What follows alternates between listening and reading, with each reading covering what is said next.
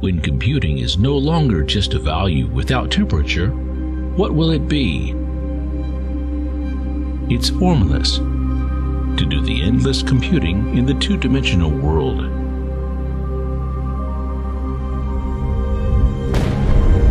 It's tangible, helping us discover the beginning of life and the essence of things, and creating moving moments.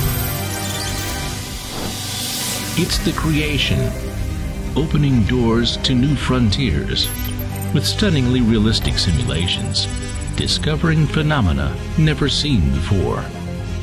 It's the exploration, leading us into the microscopic world, glimpsing the tininess of life.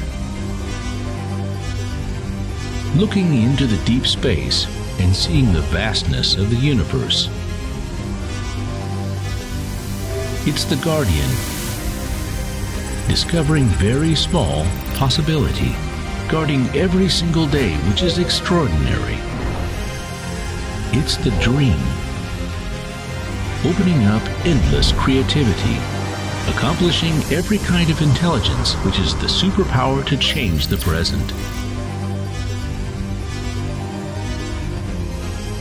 We bring supercomputers to life with perception. Let calculation not only have speed, but also have temperature.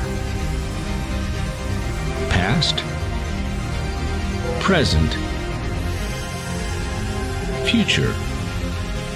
Great insights are waiting.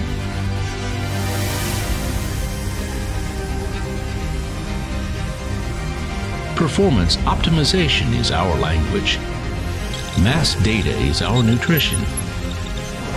Large scale and acceleration are our challenges. We give it life and warmth to provide a better life for human beings.